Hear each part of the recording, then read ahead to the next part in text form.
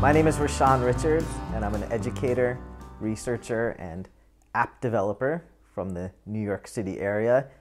I'm a long-time K-12 teacher and administrator, and now I also teach higher education and continue with my entrepreneurial exploits as a app developer for a company called Explain Everything.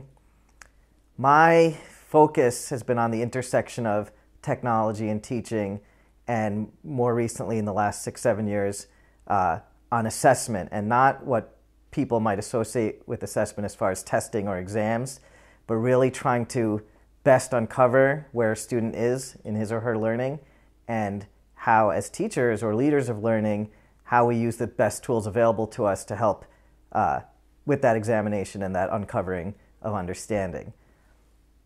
I guess when you talk about assessment, you have to think about uh, not just about what it looks like as far as the process of learning, but first of all, how people learn, and then, of course, well, what's worth learning and what's worth knowing.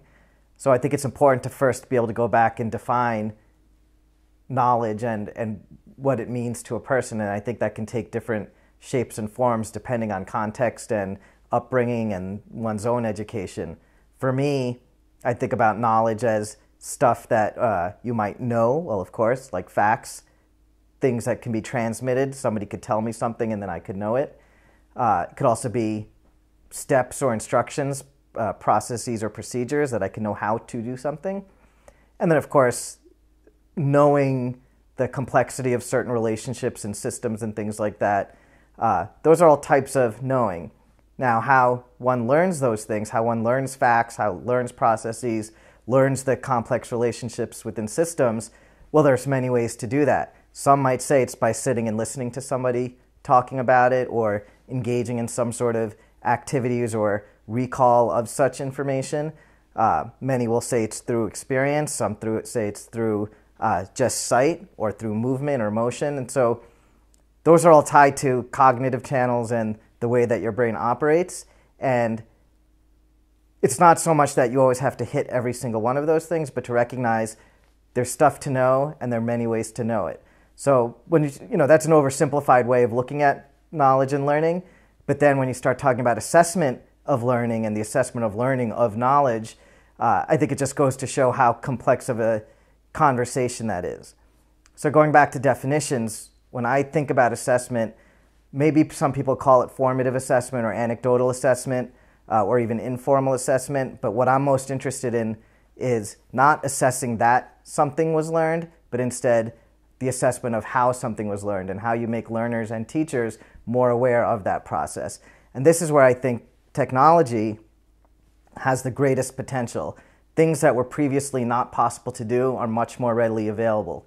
So, for example, if I uh, was had some device or was going through some learning experience and I had a technological tool with me, there's so many ways I can document the learning experience. So for if I was learning about a particular topic, um, through whatever was going on, just the fact that a mobile device, a laptop, any kind of computer, the fact that it has a camera, it's this very simple thing that a teacher, a learner can take a photograph of any given moment and be able to say, this is what was happening in that moment of time.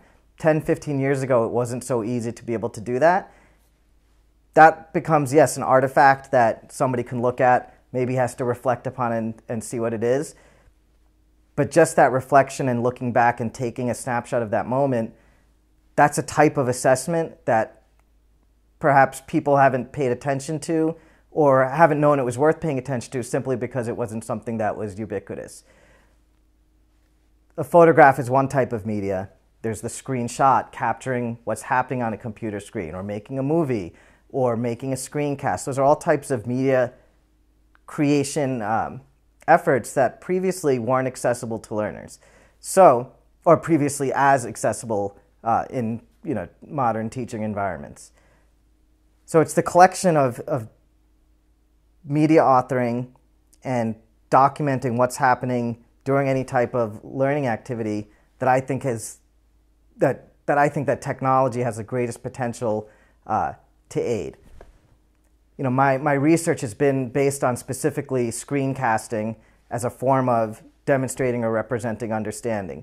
So, well, what's screencasting? That's capturing what's happening on a device screen along with the audio narration uh, and being able to maybe talk through or explain what's going on.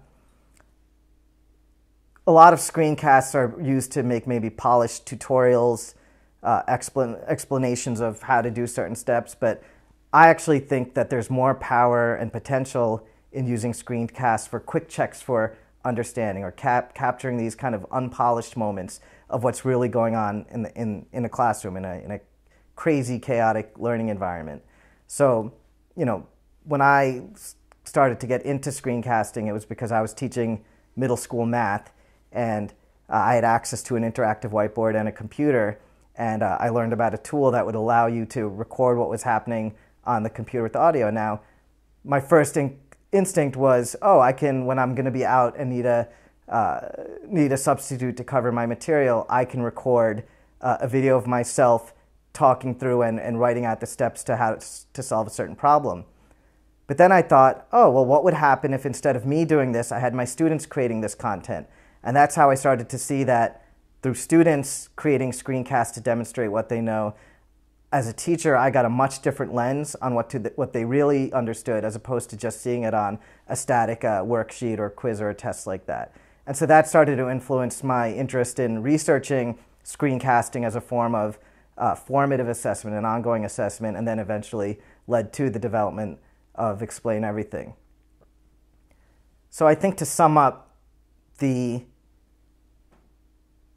the amazing things that technology allows us to do uh, isn't just about making things more efficient, making testing of knowledge and facts more efficient, and uh, trying to reduce kind of a very important and very personal relationship between students and students, students and teachers, uh, just into metrics and say, oh, so, such and such student got certain score and I can display this on a graph and pull it up on a website.